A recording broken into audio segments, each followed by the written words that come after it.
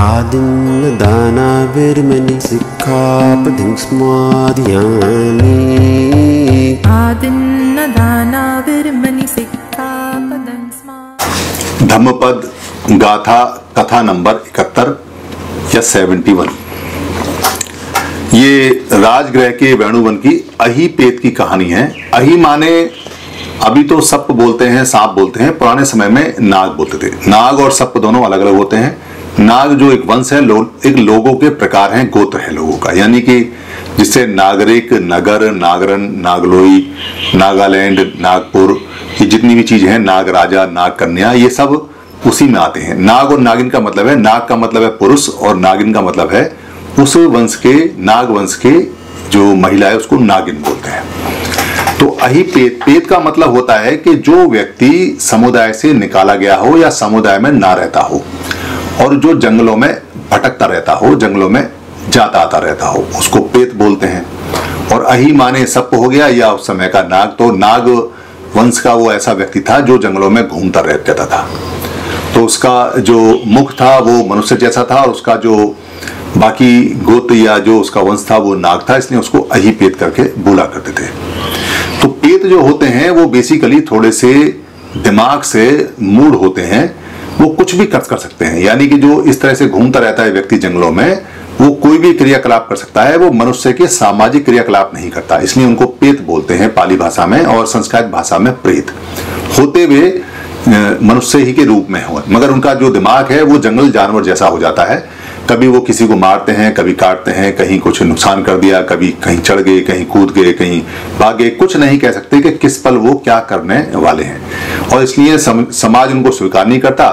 और उनको छोड़ देता है और वो जंगल में अपना जीवन काटते रहते हैं। शिष्य लक्ष्मण के साथ में, जिसको पाली के अंदर लखन बोलते हैं। लखन के साथ में जो जो महामोगल्यान थे, महामोगल्यान अपने जो शिष्य थे लखन के साथ में, यानी लक्ष्मण के साथ में लखन पाली में बोलते हैं, लक्ष्मण संस्कृत भाषा में। क्योंकि छह तो होता नहीं। लखन होता है, खेत बोलते हैं, पाली में और क्षेत्र बोलते हैं, संस्कृत भाषा में। ऐसे ही लखन में आधा खे और खे आता है तो उसको बोलते हैं पाली में लखन और जो संस्कृत भाषा में आधे कै और खे को छह बोलेंगे तो लक्ष्मण हो जाता है। तो चारिका पे निकले हुए थे तो उन्होंने उस पेत को देखा। लक्ष्मण ने पूछा कि ये क्या है, किस तरह का ये करेक्टर है, क्या है? तो जो महामुगल नयन थे, वो थोड़े से मुस्कुराए और चारिका करने के बाद में वो भगवान बुद्ध के साधने में आए और उन्होंने कहा कि आज उन्होंने पेत को देखा, अही पेत को देखा।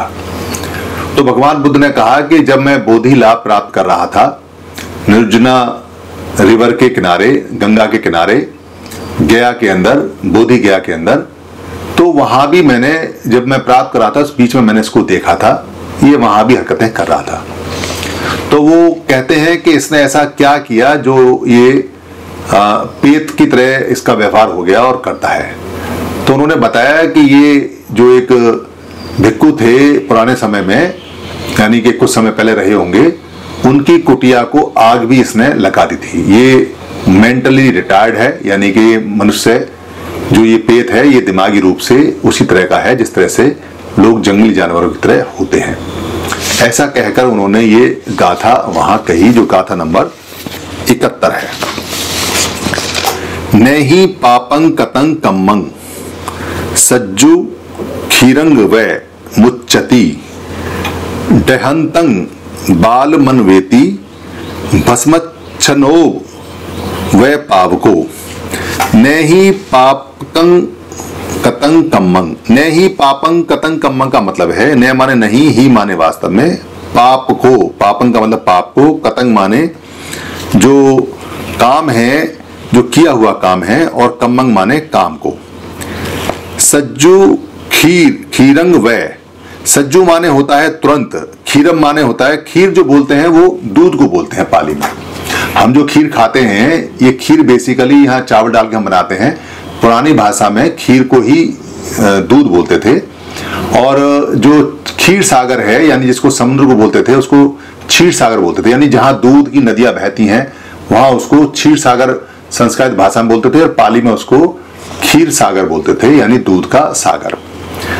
तो सज्जू खीरंग वय मुच्चती मुच्चती का मतलब है मुक्त होता है। यानी कि तुरंत जो दूध है, वह मुक्त होता है। कैसे मुक्त होता है? दूध के गुण से मुक्त होता है। यानी कि दही में बदल जाता है। रखा रखा दूध क्या होता है? अगर आप दूध को रख के छोड़ देंगे और भूल जाएँ, उसे कुछ समय के लिए आठ घंटे, दस घंटे, बारह घंटे, गर्मी पड़े तो गर्मी के हिसाब से, सर्दी पड़े तो सर्दी के हिसाब से तो वो रखा रखा ही खराब हो जाता है, जम जाता है। तो यानी कि उसको दूध के गुण से मुक्त होने में तुरंत नहीं होता, टाइम लगता है। ऐसे ही वो कह रहे हैं न ही पापंग कतंग कमंग जो वास्तव में जो पाप किया हुआ है, वो जो पाप है, उसको जमने में, उसका परिणाम आने में समय लग जाता है। देहंतंग बाल मनवेती देहंतंग का मतलब है आग। आग को बाल मनवेती का मतलब है, जो मूड है, बाल माने मूड और मनवेती माने पीछा करता है। यानी कि जो आग है, वो मूर्ख का पीछा करती है। कैसे?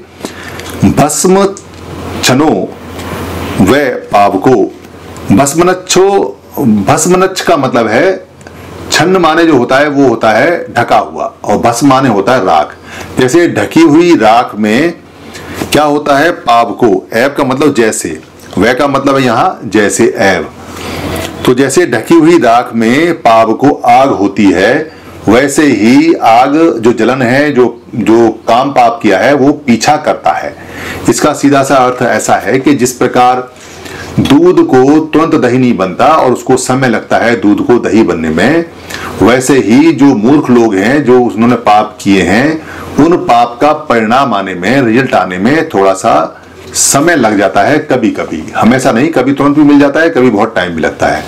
ये ठीक इस प्रकार है, जैसे जो राख में ऊपर से लगता है कि कुछ नहीं है, मगर नीचे आग सुलगती रह, रहती है और वो जलाती रहती है। इसी प्रकार जो ये पाप कर्म है, वो जलाते रहते हैं और वो कभी पीछा नहीं छोड़ते, जो मूर्ख लोग हैं, उनका।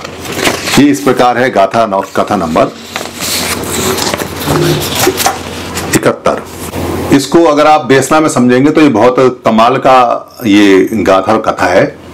क्योंकि लोग क्या समझते हैं कि हमने क्राइम किया, जैसे हमने रिश्वत ली, या हमने सरकारी खजाना चुराया, या हमने कोई सरकार का, या किसी राज्य का, या किसी स्टेट का, या ज़िले का, या तहसील का कोई नुकसान किया, या हमने किसी पड़ोसी का कोई नुकसान किया, या हमने झूठ बोला, या हत्या की, या किसी मनुष्य को दबाया या उसको कुचला, या उसकी भावनाओं को, उसके मन को, उसकी बात को कुचला।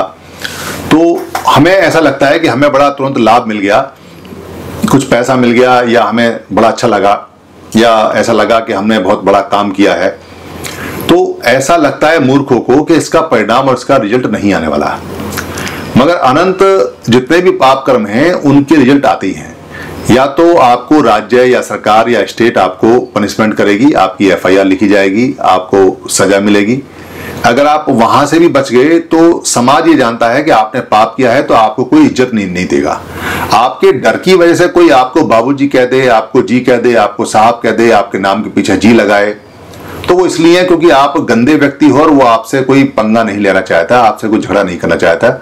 उसको अपनी सुख और शांति बहुत प्यारी है। मनस्पत इसके इसलिए वो आपको नमस्ते कर जाएगा, मगर उसकी नमस्ते अगर आप देखेंगे तो आपको उसकी आँखों से और उसके चेहरे से पता चल जाएगा कि ये दबाव में और मजबूरी में या डर की वैसे की हुई नमस्ते है, या डर की वैसे लगाया हुआ ये जी या साहब या मिस्टर है, या जो डर की वजह से या अपने आप को बचाने की वजह से ये काम है। तो उसमें कहीं मन से आपका सम्मान या नहीं होता है। तो अगर वहाँ से भी आप सामाजिक रूप से भी आप छुपा गए और बच गए अपने पाप कर्म को तो आपका पाप क्रम आपका परिवार जानता है कि कहाँ से पैसा आया, कहाँ से गया, आपके बच्चे जानते हैं, आपके रिश्तेदार जानते हैं। और सब जगह इस बात का रिश्तेदारों में होता है कि भाई, कल तक इसके पास कुछ नहीं था, अभी कहाँ से आ गया? या इसने उसको मारा, या उसकी ज़मीन हड़प ली, या उसको उसने काटा, या उसको पीटा, या उसने उसको प्रताड़ित किया, या झूठा मुकदमा लिखवाया, या इसका इसको पढ़ने नहीं दिया, या इसको नौकर बना के रखा, या इसको अज्ञान बना बना के रखा, या इसका शोषण करता रहा, या दुकान पे इसको पूरी तनख्वाह नहीं दी, इसके परिवार को पूरा दबा के रखा, या इसकी पत्नी का शोषण किया, या इसके बच्चों का शोषण किया, या ज़्यादा काम कराया, कम पैसा दिया, ये सब जानते हैं। तो इस बात का असर इस बात से पड़ता है कि रिश्तेदारों में परिवारों में सब जानते हैं कि आप करप्ट हैं तो आप आपस में एक दूसरे को कितने नाटक कर लें, मगर मन से नहीं कर सकते। ये ठीक ऐसे है, जैसे चोर अगर चोरी करके आए तो पत्नी उसे चोर ही कहेगी, चाहे हँसी में कहे या मज़ाक में कहे। अगर कोई हत्या करके आता है घर में और वो घर में आके कहे कि मैंने उसको मार दिया तो कोई उसको प्रेज नहीं करेगा, कोई उसकी तारीफ़ नहीं करेगा। सब कहेंगे, बहुत गंदा काम किया इसने। कट जाएँगे। हो सकता है बच्चे छोड़ छाड़ के चले भी जाए। और जैसे मौका मिलता है, उड़ भी जाते हैं, वापस नहीं आते इज़्ज़त भी नहीं करते। मर जाता है आदमी, तब भी नहीं आते। और अगर वहाँ से भी बच गया तो स्वयं को अपनी निगाह में क्या कहेगा? क्योंकि उसे किसे छुपाएगा? स्वयं करके आया है तो स्वयं तो जानता है। तो स्वयं के अंदर ही जीवन भर इस बात को अग्नि जलती रहेगी, जलाती रहेगी कि मैंने पाप कर्म किया है।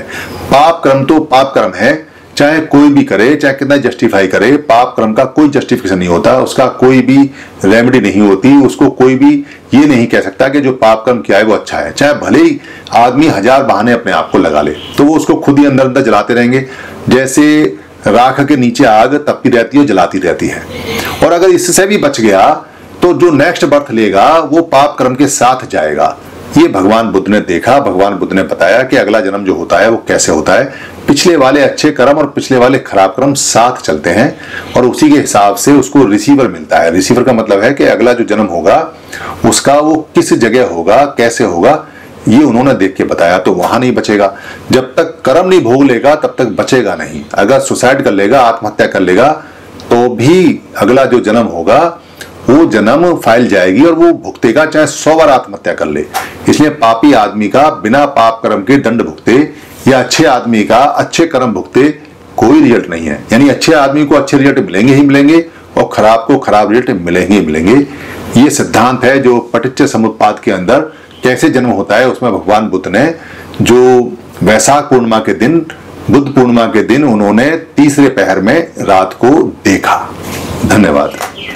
आप सभी से ये निवेदन है कि अगर आपको ये वीडियो अच्छी लगती है या बाकी वीडियो अच्छी लगी हैं और आपको लगता है कि धमकी वीडियो किसी को और मिलनी चाहिए या किसी को गिफ्ट में भेजनी चाहिए या किसी भाषा में कन्वर्ट करके आगे बढ़ानी चाहिए या प्रिंट में, किताब में छापनी चाहिए या इसकी जो ऑडियो है उसे निकाल के भेजना चाहिए या इसका किसी पार्ट को इस्तेमाल करना चाहिए तो आपको लिबर्टी है, आपको छूट है। ये सभी कॉपीराइट फ्री हैं। आप अपने फेसबुक पे, अपने पेज पे, अपने ट्विटर पे या अपने हैंडल पे या लिंक को कहीं भी शेयर कर सकते हैं। कहीं भी चला सकते हैं, आप यूट्यूब पे भी चला सकते हैं, अपने नाम से चला सकते हैं। इसके लिए इजाज़त लेने की या परमिशन ले, लेने की बिल्कुल भी ज़रूरत नहीं है। आप इसको अपना मान के चलाएँ, क्योंकि धम्म सबका है। हम जो बताते हैं, वो भगवान बुद्ध का है या महापुरुषों का है। उन्हीं की बात को सरल भाषा में बताते हैं। हमारा सिर्फ़ इतना राइट है इस पे कि हम इसको लोड कर देते हैं। बाकी सारी ये पूंजी आपकी है। धन्यवाद।